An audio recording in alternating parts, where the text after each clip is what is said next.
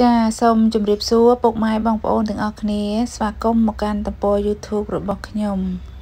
ថ្ងៃនេះខ្ញុំចង់បង្ហាញបងប្អូនអំពីវិធីធ្វើដំណាប់ខ្ញីចាឥឡូវនេះគឺយើងមកចាប់ផ្ដើមធ្វើដំណាប់ខ្ញីរបស់យើងទាំងអស់គ្នាឥឡូវនេះគឺខ្ញុំមានខ្ញីកន្លះគីឡូហើយខ្ញុំបានកោសសបកវាចេញរួចហើយឥឡូវនេះគឺយើងមកចាប់ផ្ដើមចិតខ្ញីរបស់យើងចំពោះខ្ញីនេះបងប្អូនហាន់ បដោយមើមក៏បានដែរតែខ្ញុំគឺខ្ញុំចង់ហាន់ទៅតឹងមើមណា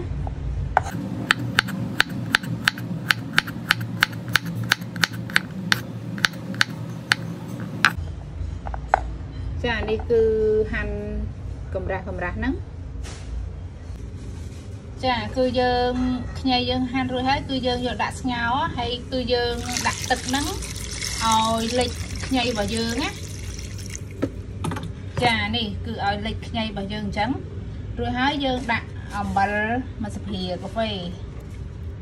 ហើយយើងយកទៅស្ងោររយៈពេល50នាទី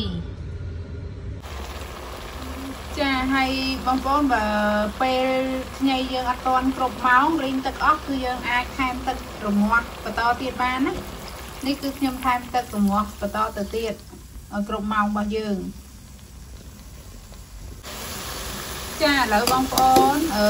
ខ្ញីរបស់ខ្ញុំគឺខ្ញុំស្ងោរបានគ្រប់ម៉ោងរបស់ខ្ញុំហ្នឹងណា50នាទីឥឡូវនេះគឺខ្ញុំស្រង់ខ្ញីរបស់យើងចេញ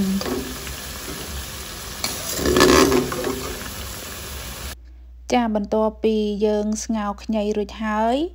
ឥឡូវនេះគឺយើងចាប់ផ្ដើមយកខ្ញីរបស់យើងយកមកធ្វើដំណាប់ណាជាដំបូងហ្នឹងគឺយើងយកខ្ញីរបស់យើងមកដាក់ក្នុងខ្ទះហើយយើងដាក់ស្ករ ចាហើយខ្ញីរបស់ខ្ញុំ គឺកន្លះគីឡូហើយខ្ញុំប្រើស្ករ2ខាំកន្លះគឺស្មើនឹង50%នៃចំនួនខ្ញីរបស់យើងណារួចហើយគឺយើងកូរខ្ញីរបស់យើងឲ្យសព្វជាមួយស្ករយើងមកហើយយើងដាក់ទឹកដាក់ទឹកប្រហែលកន្លះកែវទៅ ហើយយើងបើកភ្លើងវារមាស់វា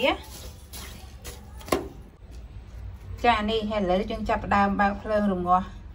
ដំណាប់ខ្ញីរបស់យើងចានេះគឺទឹកស្កររបស់យើងបានពុះហើយហើយយើងបើកភ្លើងល្មមកុំឲ្យបើកភ្លើងខ្លាំងពេកណាបើកភ្លើងល្មមហើយយើងទុកតតែព្រីងទឹកស្ករហ្នឹងណាបងប្អូន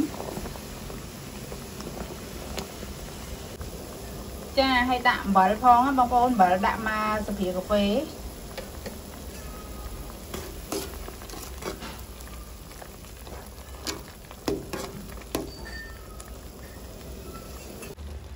ចានេះបងប្អូនគឺស្ករយើងអឺរីងទឹកស្ករណាគឺវាមិនមែនរីងអស់ទេគ្រាន់ថាឡើងទឹកស្ករយើងឡើងខាប់ដូចទឹកសេរ៉ូអញ្ចឹងណាអញ្ចឹងយើងអាចស្រង់ខ្ញីរបស់យើងដាក់ សម្ងួតទឹកស្ករបានហើយណានេះទឹកស្ករហ្នឹងគឺដូចទឹកសេរ៉ូអញ្ចឹងហើយទឹកអឺទឹកសេរ៉ូហ្នឹងទឹកស្ករហ្នឹងគឺអត់ចោលទេណាគឺយើងអាចយកទៅញ៉ាំជាមួយ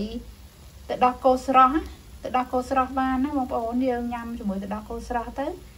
យើងដាក់តកកទៅគឺញ៉ាំឆ្ងាញ់ឬក៏យើងអាចញ៉ាំជាមួយយើងដាក់ទឹកក្តៅ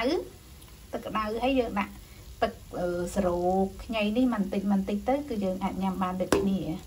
ឥឡូវនេះយើងទៅស្រង់ខ្ញីរបស់យើងដាក់សម្រិលឲ្យវាស្ងួតស្ករបន្តិចសិនចាឥឡូវនេះយើងធ្វើការស្រង់សាច់ខ្ញីរបស់យើងចេញពីទឹកស្ករមកសម្ដិលខាងក្រៅចានេះខ្ញុំប្រមូលសាច់ដំណាប់របស់យើងដែលហាលសម្ដិលស្ងួតខ្លះហើយហ្នឹង យកមកច្បល់ជាមួយនឹងស្ករសរបស់យើង ដើម្បីឲ្យវាជាប់ស្ករកុំឲ្យវាស្អិតណាបងប្អូន ចាយើងច្បល់ជាមួយនឹងស្ករសបែបហ្នឹងហើយ គឺយើងស្រង់ដាក់ចូលទៅក្នុងកែវទៅ យើងហូបមួយថ្ងៃមកចំណិតពីរចំណិតទៅបងប្អូន ការពារផ្ដាសាយបានណា ចាដំណាប់ខ្ញីរបស់ខ្ញុំនេះមើលទៅរាងក្រហមដោយសារខ្ញុំប្រើស្ករអំពៅបងប្អូនបើសិនជាយើងប្រើស្ករសពណ៌របស់ដំណាប់គឺអត់សូវក្រហមអញ្ចឹងទេ ចាឥឡូវនេះការបង្ហាញពីរបៀបធ្វើដំណាប់ខ្ញីរបស់ខ្ញុំបានមកដល់ទីបញ្ចប់ហើយបងប្អូន ហើយខ្ញុំសូមអរគុណដល់បងប្អូនដែលបានមើលវីដេអូខ្ញុំសូមបងប្អូនជួយ share នៅវីដេអូនេះឲ្យបានច្រើនច្រើនទៅកាន់មិត្តភ័ក្តិដទៃផង ហើយសូមជួយ follow Facebook page ហើយនិង YouTube Instagram របស់ខ្ញុំផង ចាសូមអរគុណសូមជម្រាបលាបាយបាយ